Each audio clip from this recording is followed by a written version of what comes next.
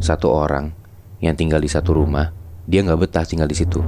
Gara-gara dia tuh diteror sama makhluk halus yang ternyata datangnya itu dari tetangga sebelahnya.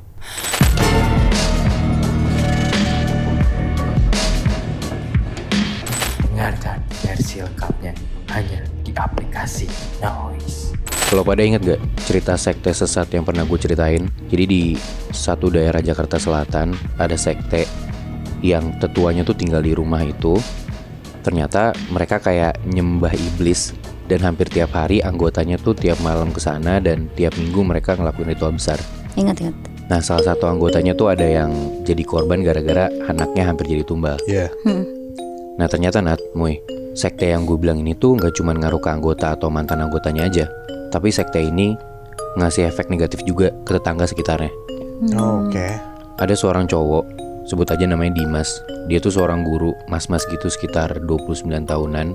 Dan rumahnya Dimas ini persis di samping tempat sekte itu. Hmm. Bener-bener dempet banget Nat, Muy. Hmm. Nah Dimas ini di saat itu baru banget nikah. Kejadiannya sekitar satu tahunan yang lalu lah. Istrinya itu seorang guru juga. Karena mereka baru nikah, makanya si Dimas pindah ke rumah ini yang di samping sekte ini. Oke.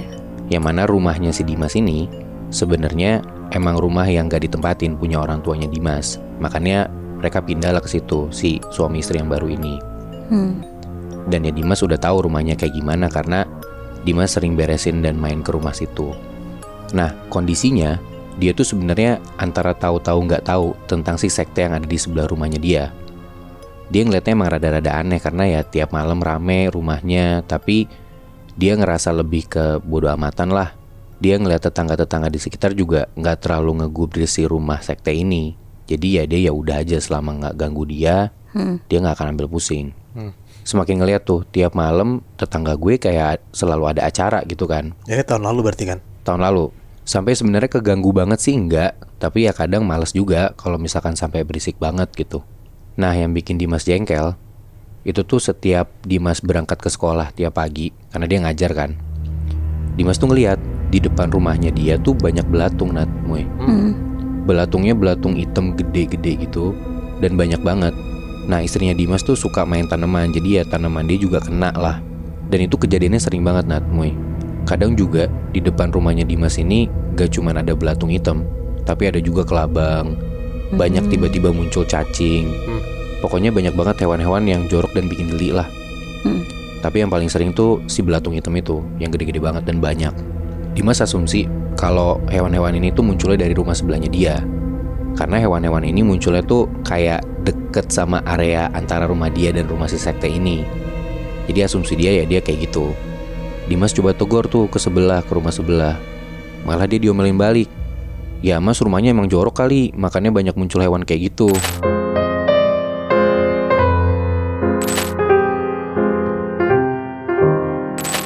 Ada tetangga yang kadang ganggunya kan karena berisik atau karena jorok gitu kan yang kayak lo gitu.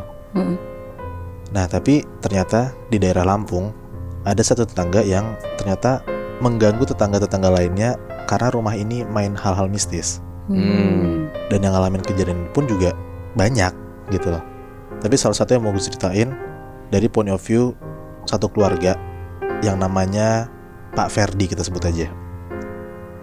Pak Ferdi ini tinggal bertiga sama istrinya Bu Rena dan anaknya namanya Adri sekitar umur 15 tahun lah anaknya. Sampai akhirnya ada tetangga baru yang baru pindah sebelahan sama rumah Pak Ferdi ini dan mungkin pindahnya belum nyampe setahun lah. Dan setelah si keluarga itu pindah, pindah ke sebelah rumahnya Pak Ferdi, akhirnya keluarga Pak Ferdi pun selama berbulan-bulan diteror sama makhluk halus. Hmm. Sebut aja nama keluarga yang baru pindahin namanya Pak Toto. Hmm. Pak Toto ini pindah ke Lampung katanya dari Jawa Timur. Pindah berdua sama istrinya. Jadi satu rumah itu berdua doang.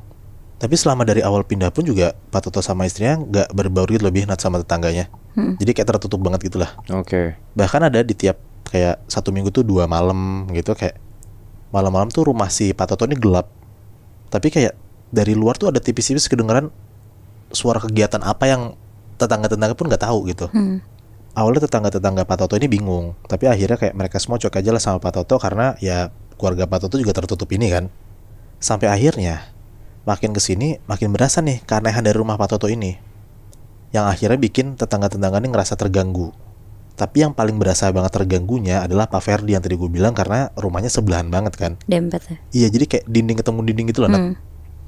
Jadi kalau misalnya dari rumah Pak Ferdi ditempelin kupingnya gitu ke dinding, itu tuh kayak kedengeran tipis-tipis gitu Bihnat. Kayak ada sesuatu atau suara apa dari rumah Pak Toto itu. Hmm. Hmm.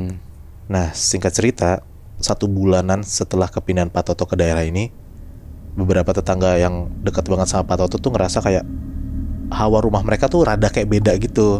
Terus kayak berasa hawa itu panas. Beberapa malam tuh tiap malam panas banget Maksudnya di rumahnya mereka mereka di rumahnya ngerasa- mereka. Oh, gitu. Oke. Yang mepet-mepetan sama rumah Pak Toto ya. Mhm. awalnya orang-orang ini cuma ngerasa kayak ya udah aja lah mungkin perasaan mereka doang apa mungkin emang rada panas Hmm. hawanya gitu nah tapi Pak Ferdi ini yang bener-bener nyari tahu sebenarnya kenapa gitu loh karena rumah Pak Ferdi tuh kayak tiap malam dindingnya tuh panas bukan Hmm. hawanya dong dindingnya itu panas Hmm. panasnya tuh kayak anget-anget gitu loh dan ada beberapa malam pas di atas tengah malam Pak Ferdi sekeluarga tuh kayak suka ngeliat bayangan sekelibet gitu masuk keluar dari dinding rumah mereka Wow. Hmm. nah dindingnya itu yang nempel sama dinding rumah Pak Toto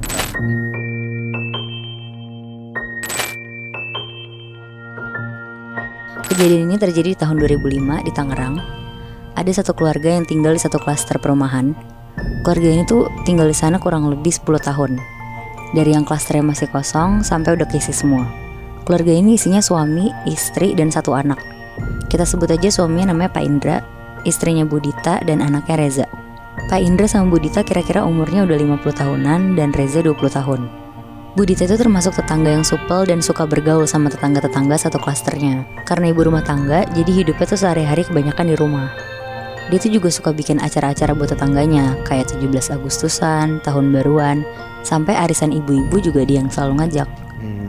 Budita paling dekat sama tetangga sebelah rumahnya persis, namanya Bu Ulfa.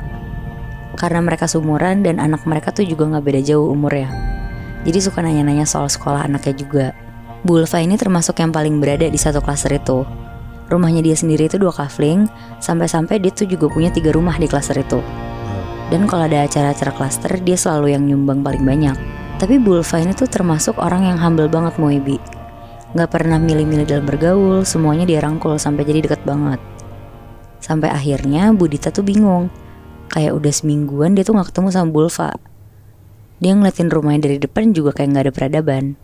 Terus Budita tuh ngomong ke suaminya, Pak Indra. Dia bilang, kenapa ya Bu Ulfa udah seminggu ini kok gak kelihatan? Rumahnya juga kelihatan kosong. Terus Pak Indra jawab, ya paling keluar negeri sama keluarganya. Biasanya kan tiap tahun begitu. Ngedenger itu Budita baru keinget juga kalau Bu Ulfa tuh setiap tahun emang pasti keluar negeri sama keluarganya. Tapi yang bikin dia masih mikir tuh kok tumben gak ngasih tahu karena biasanya tuh selalu ngomong dulu ke Budita. Tapi Budita akhirnya mikir, ya mungkin dia lupa aja kali ya buat Hmm. ngasih tahu ke Budita. Kayak biasanya ngabarin gitu ya. Mm-mm, Sekedar benar, ngasih tahu doang. Nah akhirnya sekitar jam 9 malam Tiba-tiba ada yang ngetok-ngetok rumah Budita Pas dibukain sama Buditanya sendiri Ternyata itu tuh Bulfa Hmm. Langsung heboh kan tuh Budita Terus langsung disuruh masuk juga Tapi pas disuruh masuk Bulfanya tuh diem aja Mukanya Bulfa di sini juga nggak kayak biasa Pucet Rambutnya juga agak berantakan Karena Budita ngeliat Bulfa pucet banget Kayak orang sakit Budita akhirnya bilang Bu tunggu aku bikinin teh panas ya. Ibu masuk sini aja duduk di ruang tamu. Akhirnya Budita cepet-cepet lah bikin teh panas. Dan pas dia balik ke pintunya Bulfa tuh udah gak ada